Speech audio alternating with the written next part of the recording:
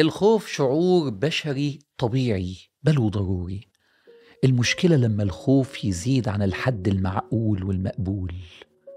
طبيعي إنك تكون خايف قبل الامتحان بيوم واتنين وأسبوع لكن لو خايف قبلها بشهر ده مش شعور طبيعي ومنطقي. طب والحل إيه؟ الحل اللي يكون عندك درجة من الثقة تخلي خوفك في الحد المقبول والمعقول. عارفين زي إيه؟ عارف الناس اللي بتروح الملاهي وتركب قطار الموت اللي بيسموه قطار الموت؟ إزاي بيبقى عندهم حالة من المتعة الشديدة رغم إن هو مخيف جدا لأنهم عندهم ضمان للي صمم الملاهي. إزاي بيروحوا بيت الرعب وما يكونوش خايفين رغم إن هو مرعب جدا لأنهم عندهم ضمان. ساعتها يتحول الخوف لنوع من الإثارة والمتعة عكس الخوف تماما. الحل إيه؟ الحل إنك تعمل ثلاث حاجات. عندك حد بتستشيره عشان تبقى مطمئن إن خوفك طبيعي مش مبالغ فيه. وتطمئن إن حجم الخوف ده منطقي. اتنين إن يبقى عندك ثقة في النفس. تلاتة محتاج تتوكل على الله لأنه هو الضامن الوحيد اللي يحميك في الدنيا دي أكتر من كل الناس. قول توكلت على الله تكون أقوى الناس.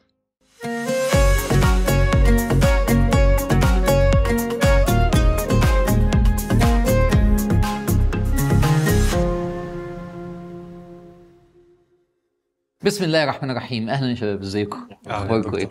جاهزين؟ جاهزين. خلصنا منزلة اليقين وفات سبعة أيام في رمضان والنهاردة فات ربع رمضان. والنهاردة نبدأ منزلة التوكل على الله. ومنزلة التوكل على الله النهاردة الحلقة اللي هنبدأها فيها بتتكلم عن الخوف. كل ما هو مستقبلي بيحطك قدام احتمالين ملهمش تالت. كل ما هو مجهول. خايف من بكرة ولا متوكل على الله؟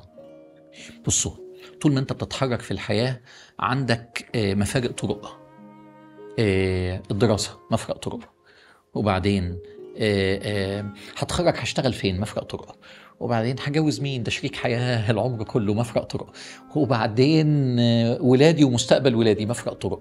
وبعدين هغير الكارير ولا هكمل في الكارير بتاعي؟ مفرق طرق. وبعدين رزقي واقف هتنقل ولا هكمل؟ طول ما انت ماشي مفرق طرق كل ما في كلمة بكرة كل ما في كلمة مستقبل معناها غموض القدر. يا ترى تتعامل إزاي مع غموض القدر؟ ما عندكش غير اختيارين ملهمش تالت.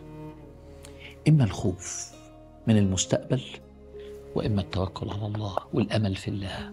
وعلم النفس الإيجابي بيقول لك الحكاية دي كل ما هو مستقبلي عقلك الباطن بيفكر في احتمالات. نص الاحتمالات دي خوف ونص الاحتمالات دي رجاء. ده كلام علمي ده ساينس أول ما بتتحط قدام احتمالات يبدأ عقلك الباطن ي- ينبض. ها تختار إيه؟ ويبدأ يحط احتمالات. مخاوف كذا مخاوف كذا. أمل كذا أمل كذا. ويبدأ عقلك يقوم ساحب اختيار ويبدأ يبني عليه حركته في الحياة. فتدمغ شخصيتك بالاختيار اللي انت اخترته ساعة احتمالات خوف ولا أمل؟ خوف ولا توكل؟ ده علميا.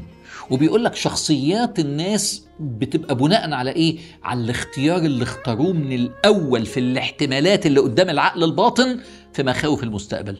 أنت تختار إيه؟ قاعدة النهاردة بتقول المعنى ده. غموض القدر يضعك بين احتمالين لا ثالث لهما. إما أن تستسلم لخوفك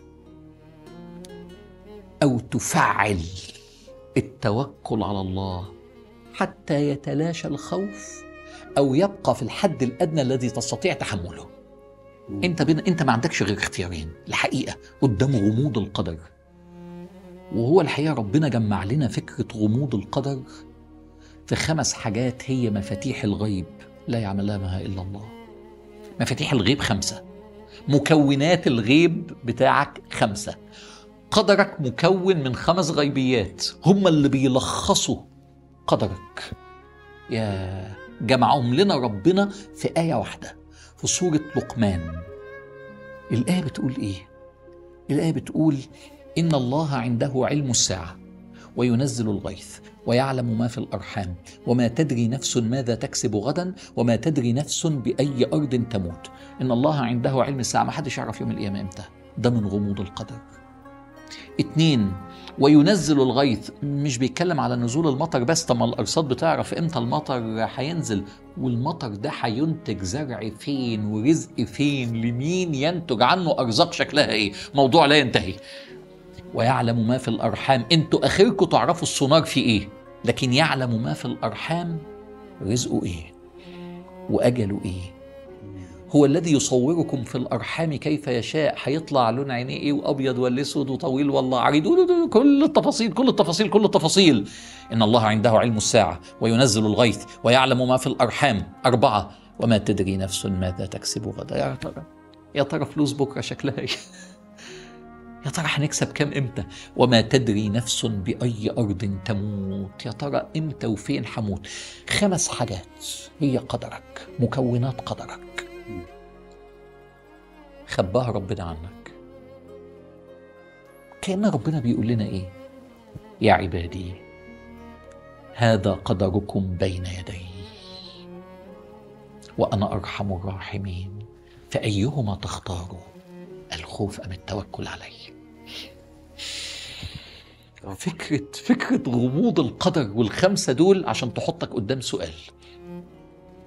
آخر علم النفس اللي أنا قلته من شوية وعلماء النفس هم آخرهم بيقولوا لك إيه؟ آخرهم بيقولوا لك إن أنت عقلك هيختار احتمال. إنما ربنا بيقول لك اللي بعد كده اللي هو إيه؟ اللي أعظم من كده بكتير. أنا أرحم الراحمين.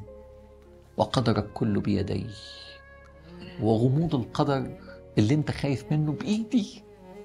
وأنت وأنت وأنت تعلم أني أنا الغفور الرحيم. تفتكر قدري فيك يخليك تخاف ولا تتوكل على الله؟ شوفوا الاختيار على فكرة كل يوم الصبح انت بين الاختيارين دول. بصوا يا جماعة أنا عايش بكلمة التوكل ورد ليا أنا ما أقدرش أعيش من غير توكل. والله العظيم أخاف أعيش من غير توكل. عشان كده هو بيقول إن الله يحب المتوكلين. وعشان كده بيقول وعلى الله فليتوكل المتوكلون أنا أنتوا واخدين بالكم طول ما إحنا جايين البرنامج ده إحنا وكل الفريق اللي معانا إحنا كل خطوة بنقول كلمة توكلنا على الله وبنقولها من قلوبنا. مش أنا بس كلنا. يا جماعة أصل إحنا جايين نعمل برنامج رمضان توكلنا على الله. حسبنا الله ونعم الوكيل. حسبي الله لا إله إلا هو عليه توكلت وهو رب العرش العظيم. يا وكيل توكلت عليك يا وكيل توكلت عليك. يحصل إيه؟ يبدأ عقلك يختار ويروح على اختيار التوكل لأنك من كتر ما عمال تغرس التوكل وعمال تقلل الخوف وعمال تقلل الخوف حتى يتلاشى الخوف أو يبقى في الحد الأدنى الذي تستطيع تحمله.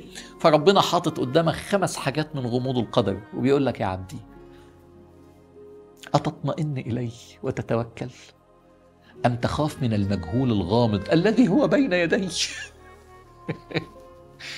معنى معنى معنى يخليك تعيش بكلمة أنا متوكل يا رب أنا ماليش غيرك أنا متوكل وبعدين ربنا يقوم جامع لك الخمسة في إيه واحدة. وعنده مفاتح الغيب. لا يعلمها إلا هو. شوفوا كلمة هو, هو بس. وشوفوا كلمة وعنده. تروح لغيره ليه؟ خايف من إيه وهي عنده. احمد ربنا إنها عنده. وبعدين كلمة ما قالش. ومفاتح الغيب عنده. لا وعند لأن لو قال مفاتح الغيب عنده يبقى عنده وعند غيره. آه. لكن وعنده هو بس. مفاتح الغيب لا يعلمها إلا هو. ها يقين ولا ولا توكل ولا خايف؟ لا يعلمها إلا هو. بص بقية الآية. ويعلم ما في البر والبحر. وبص التصوير ده. وما تسقط من ورقة إلا يعلمها. ورقة في غابات الأمازون. ولا حبة حبة رمل في قاع المحيط الهندي ولا الأطلنطي ولا حبة إلا في كتاب مبين.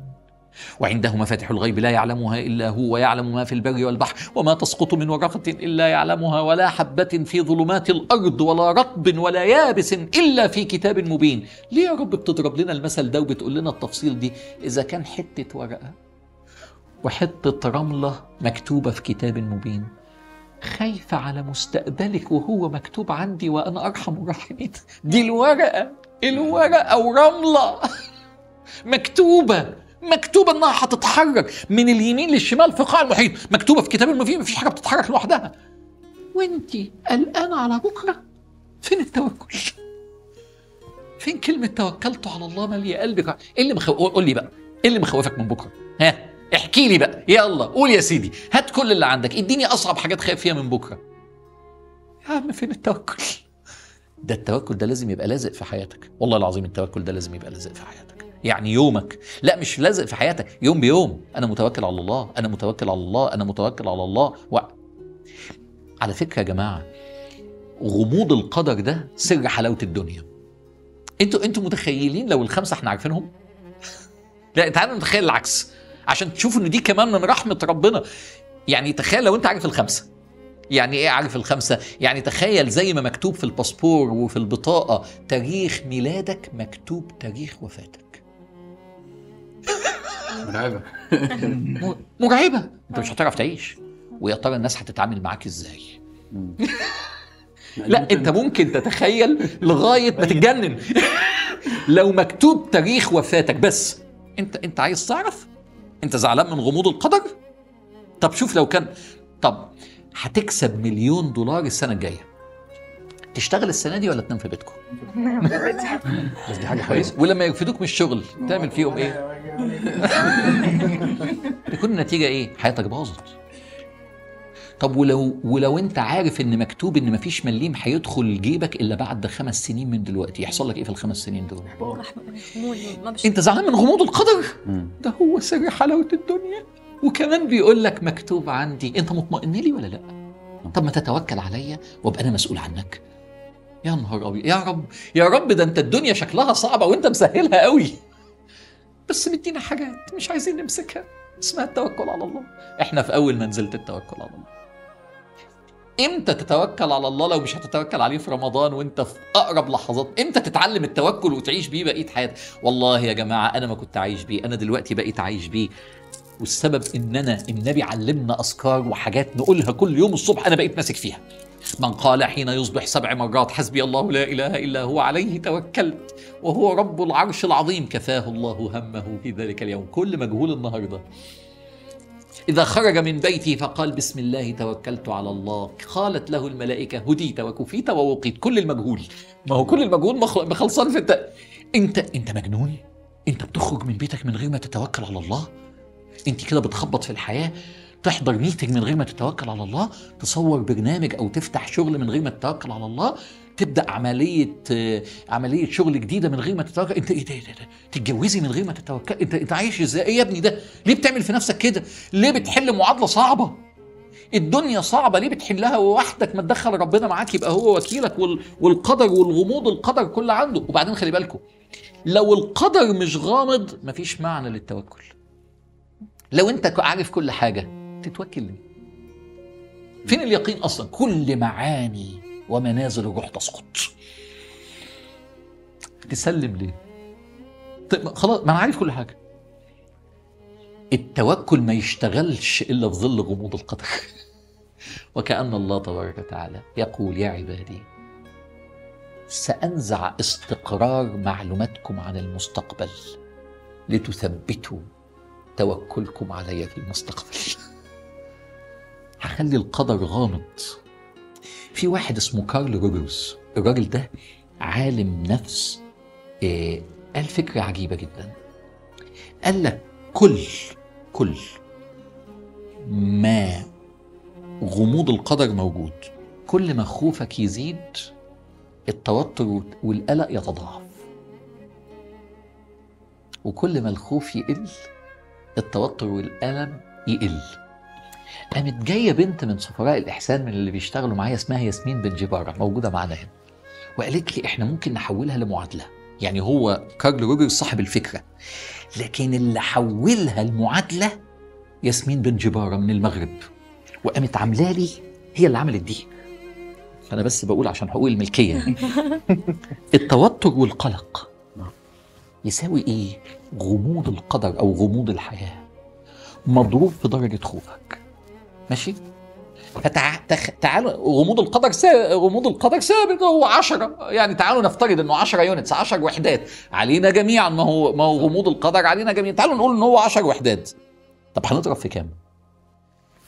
درجة خوفك كل تعالوا نقول إن درجة خوفك 100 نتيجة إن توكلك قليل فهتبقى درجة توترك حد فاهم؟ طيب هي هي العشرة. هي هي العشرة بتاعت غموض القدر.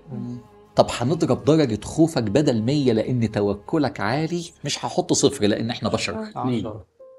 حطيت عشرة. اتنين. بص المعادلة دي. حد فاهم؟ آه. انت الموضوع كله مرتبط انت اخترت أنه احتمال توكل ولا خوف؟ كل ما زودت التوكل يقل الخوف. تكون النتيجة إن توترك وقلقك يقل أنتوا عارفين فرق كام بين الاتنين دول؟ 90 درجة. تتوقف. 90% 90% أنت متوكل ولا مش متوكل؟ أنتوا متخيلين؟ بناء على إيه؟ أنت مزود إيه؟ توكل. آه أنت مزود التوكل. آه يبقى على طول التوتر والقلق يقلوا. ممكن تعمل الحكاية دي؟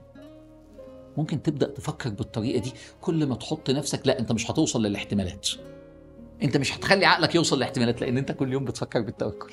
لأنك كل ما بتصحى الصبح بتسمع وصية النبي صلى الله عليه وسلم حسبي الله لا إله إلا هو عليه توكلت وهو رب العرش العظيم. ده زي الدواء اللي بتا... زي الفيتامينات اللي بتاخدها كل يوم الصبح.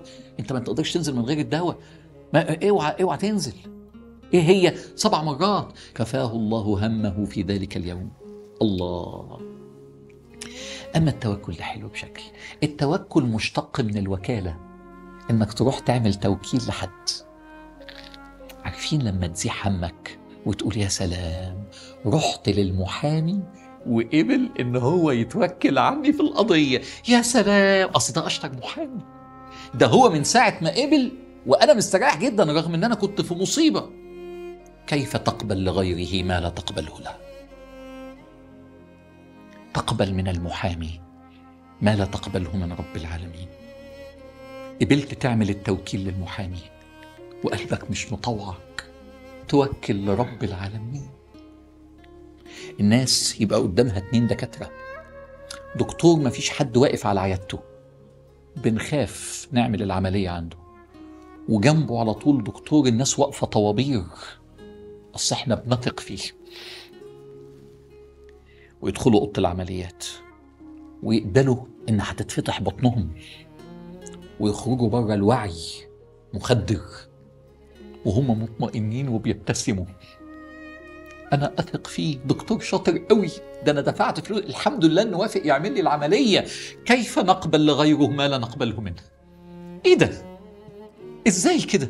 انت انت قابل من البشر. تقول يا سلام من ساعة ما عملت التوكيل لفلان عشان يخلص لي مشكلة الشركة والورق اللي واقف. قلبي استريح. كيف نقبل لغيره ما لا نقبله انت ليه ما بتت... انت إزاي مش متوكل على ربنا؟ اسمع الآيات. مش بنتكلم على غموض القدر؟ ولله غيب السماوات والأرض. وإليه يرجع الأمر كله. ما فيش ما فيش ورق بيتمضي في الأرض كله بيتمضي فوق وإليه يرجع الأمر كله. فاعبده وتوكل عليه. ليه أتوكل عليه؟ عشان الغيب عنده. رب المشرق والمغرب لا إله إلا هو فاتخذه وكيلا. شوف فاتخذه وكيلا هو اللي بيعرض خدوني وكيل. فرق كبير إنك تروح للمحامي وللدكتور تقول له أرجوك اقبل توكيلي. وأن الله سبحانه وتعالى مالك الملك. رب المشرق والمغرب. شوفوا إحنا إحنا هنا بنصلي الفجر كلنا مع بعضينا. بنشوف الليل وإزاي بيتحول فجأة للنهار وإحنا قاعدين بنقول أذكار الصباح وبنقول حسبي الله ونعم الوكيل. رب المشرق والمغرب. لا إله إلا هو شايف العظمة والملك. فاتخذه وكيلا. فرق كبير إنك تروح للقوي وتقول أرجوك. اقبلني إن أنا إنك إن أنا أوكلك وإن القوي هو اللي يعرض عليك. ممكن تقبل إن أنا أبقى وكيلك. يا رب ده أنت رب العالمين. والناس مش قابلة. والناس مش وعايشة في الخوف. اوعى تخاف. والله العظيم. والله يا أولاد. والله أنا بوصيكم في حياتكم. اوعى تخاف. يوم ما تتوكل اوعى تخاف. اليوم اللي تصحى فيه متوكل على الله. وتاخد كلمات التوكل وتقولها بلسانك وقلبك. اصلك بتمضي العقد بلسانك وقلبك؟ اللسان بيقول بسم الله توكلت على الله حسبي الله ونعم الوكيل. والقلب بيمضي.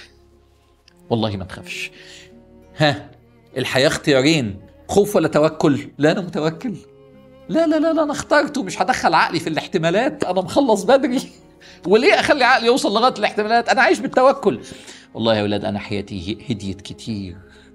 يقول النبي صلى الله عليه وسلم من أراد أن يكون أقوى الناس. من أراد أن يكون أقوى الناس فليتوكل على الله. أقوى واحد في الدنيا. قوي. ليه؟ أنا مش خايف. ليه؟ لأن أنا عقلي على طول اختار التوكل فمش محتاج إن أنا أخاف.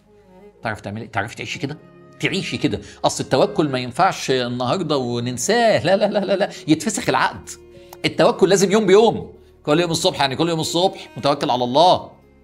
تعرف تعمل كده؟ بص بص ال- القصة دي. أنا مش هقدر أقول اسمها فهقول اسم تاني. قصة واحدة ست وهي اللي حكي لي القصة دي. هي من المغرب وهي بتحكي لي بتقول لي أنا آه أنا كنت متجوزة واحد قاسي جدا جدا جدا وعنيف جدا جدا جدا وله سلطة كبيرة جدا وأنا عشت في خوف لمدة سبع سنين. كل أهلي بيقولوا لي لازم تطلقي وأنا خايفة إن أنا اتطلق يحسن ياذيني هو قدرته إنه يأذيني عاليه جدا ومركزه يسمح له إنه يأذيني. وأنا خايفه عشت في الخوف سبع سنين. لغاية ما حضرت كلام منازل الروح عن التوكل. وبدأ يحصل في قلبي قوة غير عادية. لما أنا متوكله على الله أنا خايفة ليه؟ وتجرأت وخدت الخطوة إن أنا اتطلق وقدمت الورق ان أنا اتطلق وأنا عارفه إنه لما هيعرف هتكون الأذية شديدة. تقول لي إزاي خدت الخطوة دي بعد سبع سنين خوف التوكل دخل حياتي. اليوم اللي تقدم فيه الورق وتعرف إن هي قدمت الورق كان يوم طلوعه معاش وخروجه من الخدمة وان هو ما عادش موجود في المنصب اللي هو موجود فيه. سبحان الله. سبحان الله تقول لي أنا بقيت ببكي. ببكي. بقيت بقول زي الأطفال رب المشرق والمغرب فاتخذه وكيلا. وعيط رب المشرق والمغرب فاتخذه وكيلا. وابكي. تتوكل عليه ويسيبك؟ أنت أنت أنت بتقول إيه؟ تتوكل عليه ويس ويسلمك للخوف ويضيعك. الوكيل لا يعمل ضد مصلحة موكله. الوكيل لا يؤذي موكله. ده في عالم الدنيا. فما بالك رب العالمين وسمى نفسه من اسمائه الحسنى الوكيل؟ أنت خايف من إيه؟ اجمد! والله العظيم ما تخاف. استبدل الخوف بتوكل. شوفوا النبي صلى الله عليه وسلم راجعين من غزوة ذات الرقاع. فواحنا راجعين من غزوة ذات الرقاع الصحابة ال يعني ال الطريق فيه 100 قبيلة من قطاع الطرق ونفسهم يأذوا المسلمين. والدنيا حر جدا جدا جدا ولازم نستريح والدنيا شمس واليوم طويل. طب هنستريح إزاي؟ المكان ما فيهش حتة ضلة ما حدش هيعرف ينام تحت تحت الشمس. فالصحابة متفرقين في مكان واسع كل واحد نايم تحت شجرة. والنبي كذلك. والنبي نايم تحت شجرة والصحابة بعيد. جاء واحد من القبائل دي وقام واخد سيف النبي وحط سيف النبي عند رقبة النبي. قم يا محمد. وقام قايل للنبي كلمة واحدة من يمنعك مني الآن؟ ها في اللحظة دي إيه؟ خوف ولا توكل؟ قول اللهم صل وسلم وبارك على سيدنا محمد من يمنعك مني الآن؟ النبي رد بكلمة واحدة الله تعرفي تقوليها؟ تعرف- يا ترى يا رسول الله قلتها إزاي حتى يهتز السيف ويسقط من رأ... يا جماعة الراجل في إيده سيف قالها إزاي رسول الله صلى الله عليه وسلم؟ عشان ده يتهز وهو معاه السلاح. تخيل حاطط واحد حاطط مسدس في دماغك وبيقول لك مين يقدر يحميك مني دلوقتي؟ تقول له الله. يقوم وقع إزاي؟ فوقع السيف من يد الرجل فأخذه النبي صلى الله عليه وسلم وقال له وأنت من يمنعك مني الآن؟ فقال يا محمد كن خير آخذ. يعني أنا ما عملتلكش حاجة ما تعملش فيها حاجة. قال أتشهد أن لا إله إلا الله؟ قال لا. قال فلا تعين علي أحد. ما تحاربش حد معايا. قال نعم. فقبل منه النبي صلى الله عليه وسلم ده. بس الشاهد في القصة من يمنعك مني؟ هتقدروا يا جماعة يكون قوة التوكل إن في موقف الصعب الله! هتعرف تقول حسبي الله ونعم الوكيل. دايما وقت الخوف. هل هتقدر تخلي الوكيل قدامك؟ الذين قال لهم الناس إن الناس قد جمعوا لكم فاخشوهم فزادهم إيمانا وقالوا حسبنا الله ونعم الوكيل. فانقلبوا ب... وكأن كل من يقولها من قلبه. فانقلبوا بنعمة من الله وفضل لم يمسسهم سوء إنما ذلكم الشيطان يخوف أولياءه اللي, اللي بيحبوه. فلا تخافوهم وخافوني عيشي بالتوكل. تعيش قوي. والله العظيم ما حد يقدر عليك. ختام. ختام النهارده إيه؟ ختام النهارده إن أنا عايزك تاخد قرار في حياتك من النهارده. إن ذكر التوكل تمسك فيه لأن هو اللي هيثبت الفكرة في دماغك. أنا متوكل على الله. أنت يا دكتور عمرو بتخاف؟ طبعا بخاف. بس في الحد الأدنى اللي, اللي أستطيع تحمله لأن أنا أول ما بتجيلي مشاعر الخوف بكتر من التوكل. لأني بخاف لأني بشر بس على طول أقوم داخل توكل داخل توكل. وأحس إن أنا بقوى بقوى بقوى دي كانت فكرة النهارده. مين عنده حاجة عايز يقولها ما شاء الله كله عنده حاجة. يلا يا منى افتكرت قول الرسول عليه أفضل الصلاة والسلام لما قال لو أنكم تتوكلون على الله حق توكله لرزقكم مثلما يرزق الطير. تاخدوا خماصا وت- وتروح بطانا انت عارفة الحديث ده؟ عايز يقول لك إيه في الآخر؟ بس ابذلوا جهدكم لأن الطير بتبذل مجهود رهيب طول النهار. لكن لازم ترجع مرضية. كنده آه، حضرتك عم تحكي تذكرت قصة الهجرة أو موقف الهجرة لما الرسول صلى الله عليه وسلم وسيدنا أبو بكر راحوا على غار ثور مم. فلما طلعوا الغار بكى سيدنا أبو بكر لأنه خاف. أم قال له ما ظنك باثنين الله ثالثهما ولو قدرت طول ما أنت بتتحرك ما ظنك والله معك. إذ يقول لصاحبه لا لا تحزن إن الله معنا. إحنا مش لوحدينا إحنا معانا ربنا سبحانه من كان وتعالى. الله معه فمن عليه. فمن عليه. أيوة يا- دكتور أنا فكرت بالجوائز الربانيه حضرتك قلت الاحسان له كمان جوائز ربانيه نفكر فيها فالتوكل نفس الشيء. يعني نحن وقت بنتوكل بنفكر ربنا حيسر لنا الأمور مثل ما نحن مفكرين. بس هو بالعكس بيدهشنا إنه بصير عن جد اذا قعدت أدهش. بتتيسر الأمور أعظم بكثير ما نحن متخيلين. الله يرضى عنك يا هيام نقول القاعدة تاني. تعالوا نراجع الطاقة غموض القدر يضعك بين اختيارين لا ثالث لهما. إما أن تستسلم لخوفك أو تتوكل على الله. طب ولما تتوكل على الله أو تفعل أو تفعل التوكل على الله عارف لما تعمل له اكتيفيشن يا أخي شغل التوكل على الله فيتلاشى الخوف أو يبقى في الحد الأدنى الذي تستطيع تحققه. يلا نكمل مع بعض. أنا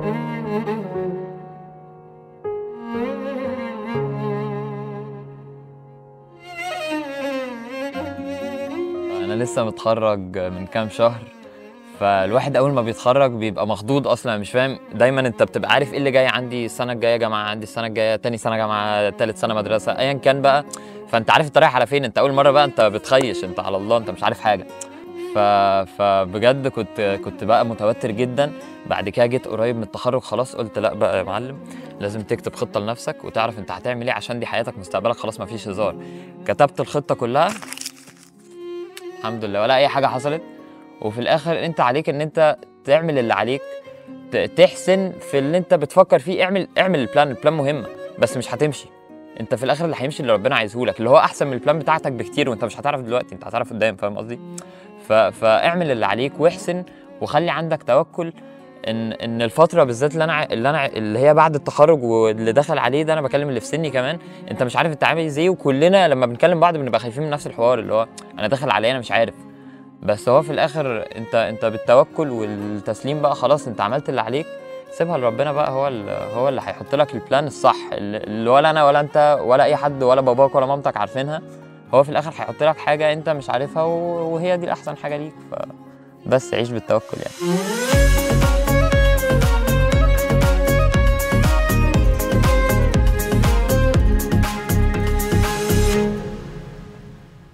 إحنا ماشيين على طول آه، كل شوية بنقوم عاملين نفس الفقرة ونسأل أسئلة هنا فريق الف وفريق ب وعاملين جايزة وأنا مسؤول عن الجايزة دي إن أنا عامل عزومة أكل حلوة جدا قبل ما نمشي من هنا للفريق اللي هيكسب ووليد معزوم علشان يعني ما يطمن.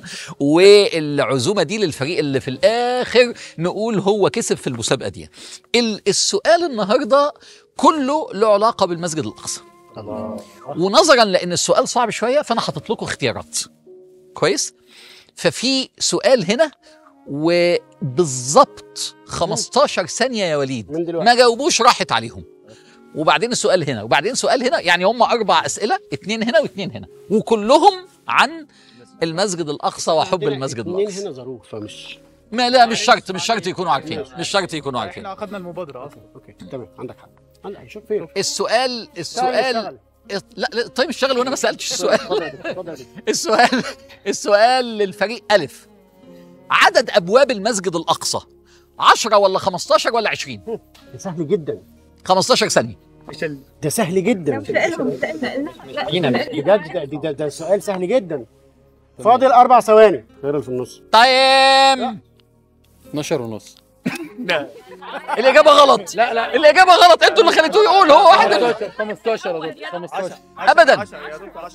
هو بيقول لا هو قال. بيقولوا 10 أنا مش عدد أبواب المسجد الأقصى 15 15 ما إحنا قلنا 15 خلاص خلاص خلاص خلاص. السؤال هنا. مساحة المسجد الأقصى. مم، سهلة جدا. داخل محيط المسجد الأقصى. سهلة جدا. 20 ألف متر مربع تقريبا لا. ولا 100 ألف متر مربع تقريبا ولا 150 ألف متر مربع 100,000. تقريبا. 100000 100000 يعني إيه تقريبا؟ جاوبت الجواب يعني 100000 يا دكتور. يعني أقرب لده ولا أقرب لده؟ أقرب ل 100 أقرب ل 100 الإجابة غلط. 144 ألف متر مربع. يعني أقرب عشان بعد كده ثانية واحدة ثانية واحدة. آه، علي أنا قلت لك إيه؟ اديته ثقة أنا قلت إيه؟ كده. أنا آسف. طيب. حلوة قوي دي. والله كنت فاكرها هم هنا قالوا 12 ونص واستاذ رافع ينزل منهم درجة ودول صفر. يبقى أربعة. أربعة ثلاثة لا لا. عشان تاني مرة الإجابة تبقى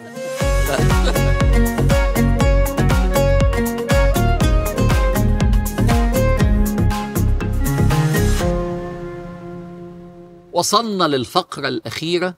وقبل ما ندخل إزاي تنجح النهارده أنا عايز أقول إن في الآخر إحنا بنقدم الإحسان هنا بس هو في الآخر مشروع. يعني إيه مشروع؟ يعني إحنا عايزين الهدف الكبير المساهمة في إحياء الإحسان بين المسلمين أن يتحول الإحسان إلى ثقافة شعبية لدى المسلمين. فعشان كده بقى الموضوع في شكل منهج. وإيه هو المنهج؟ تعالوا أفكركم تاني وأوريكم الصورة دي. الصورة دي بتقول إن عندنا ذكر وعندنا منازل روح سبعة التقوى اليقين التوكل التسليم الرضا العبودية محبة الله دول الجانب الروحي. تبدأ تعيش بيهم يتحولوا إلى أخلاق ويتحولوا إلى نجاح في الحياة. وخدنا الكلام ده وحولناه لمناهج تعليمية وبيتدرس دلوقتي في مدارس إعدادي وثانوي في مصر وفي مدارس في مصر وفي مدارس في إنجلترا وفي مدارس في أمريكا ويتدرس أونلاين للي عايز هيبدأ قريبا إن شاء الله. وبعدين بقى للأيتام وبعدين بقى ذوي الاحتياجات الخاصة وبعدين بقى ذوي للشوارع لأطفال الشوارع. حولنا ده المنهج. وكمان شغالين في الميديا بنفس الطريقة في applications كتيرة ومنصات كتيرة. بحكي الكلام ده ليه؟ أي حد عايز يكون جزء من مشروع الإحسان ابعت لنا على إحسان لايف dot com املى ال application وشارك معانا في مشروع الإحسان. إحنا النهارده فين؟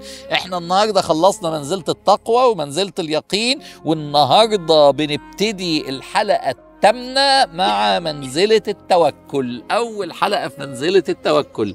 منزلة التوكل بس كمان قبل ما ندخل في منزلة التوكل آه النهارده ليلة 9 رمضان. شدوا الهمه يا جماعة. يلا إقبال على الله. يلا أنا عايز أقرب كمان. خد كمان عايز أعبد كمان. هيخلص رمضان. أياما معدودات. أوعى يروح منك رمضان السنة دي. منزلة التوكل وسؤال النهارده في إزاي تنجح؟ سؤال دمه خفيف جدا. إزاي تنجح؟ تكون مغامر بحكمة وتوازن. خليني أشرح لكم أول. إن آه، آه، وهو ليه أكون مغامر أصلا. ما هو الناس اللي بتنجح لازم عندها حتة مغامرة بس آه، يعني زي ما بيقولوا كده calculated risk عنده شوية حكمة يغامر قد إيه مش يروح يخبط في الحيط وبعدين يقول مش أنت قلت غامر بس شرط إن أنت لازم يكون عندك مش خايف على طول مش واقف كده على طول وما بتتحركش ومش عايز تخرج من المنطقة الدافية بتاعتك ال comfort zone بتاعتك. أنا جاهز أخرج وجاهز أطلع بس بحكمة وذكاء. إزاي بقى تعمل دي؟ حد عنده وصفة؟ حد عنده حاجات؟ إيه يا عبد الحميد؟ في حكمة يا دكتور تقول لا تضع البيض كله في سلة واحدة. لا تضع البيض ما تروحش تغامر بكل فلوسك. إيه كمان؟ بس انت ابتديت بال بالايه بالحاجات اللي تحمي. إحنا الأول عايزين نقول آه، غامر أصلا. اتفضل. آه، ما يخليش الواحد آه، أن تحقيق النجاح هو الهدف بس تحقيق التجربة أكتر. مش دايما الهدف إنك لازم تنجح إنما الهدف إنك تمر بالتجربة. فكرة جميلة. فكرة حلوة. لانها لأنك هتبني عليها. جميلة. حلوة يا إيه. كمان؟ ما تفضلي يا منى قبل أي حاجة كبيرة هتهم بيها تعمل حاجة تعمل risk assessment وتتأكد إن العائد اللي جاي لك هو فعلا يستحق المجهود المبذول. اعمل حسبة للمكاسب والخسائر. ويا سلام لو شاورت حد فيه أهي دي تحصين. بس خد خطوة. اعمل حسبة للمكاسب والخسائر. أيوه اتفضلي يا هيام. تعمل بديل يعني دايما يكون في خطة بديلة. لو ما مشي حال هيدي يكون في شيء. دايما عندك خطة بديلة جميل. أو, أو في خطة أساسية يعني دي بتحاول أنت أيوه. لا خلاص. يعني أيوه اتفضل يا وليد. آه، ما تبقاش آه، يعني هي آه طبعا تبقى حاسبها كويس بس مع الورقة والقلم تبقى في كده جزء كبير جدا اسمه الثقة في الله. ما هو يا جماعة ما إحنا في حلقة التوكل.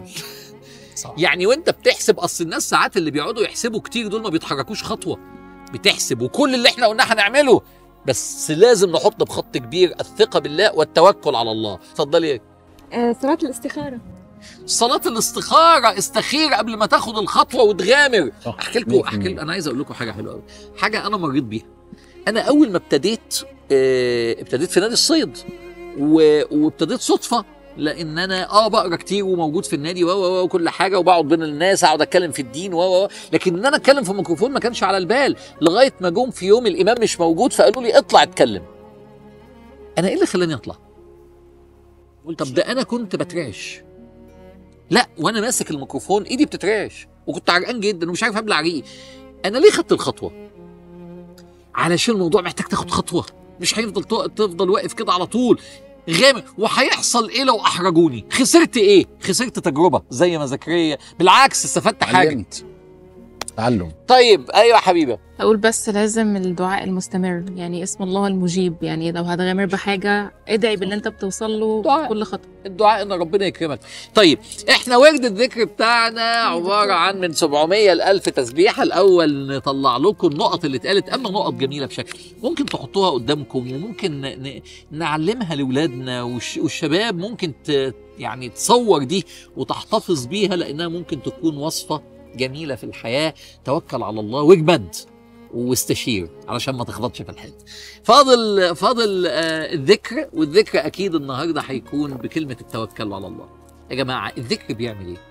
الذكر بيثبت في عقلك الباطن الفكرة فتبقى مستقرة جواك ومليانة جواك. تصرفاتنا في الحياة علميا هي نتاج اللي مستقر في عقلك الباطن. انت مغذي في عقلك الباطن إيه هتبص تلاقي تتصرف طبيعي بيها.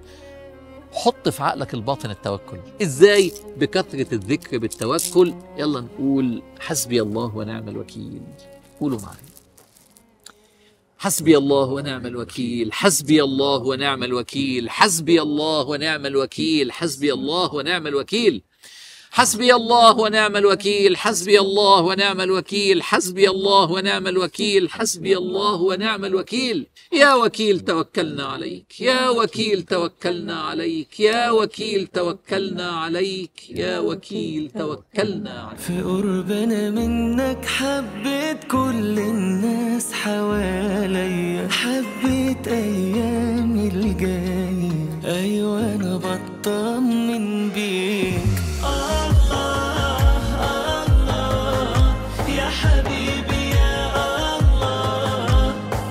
حكمتك راح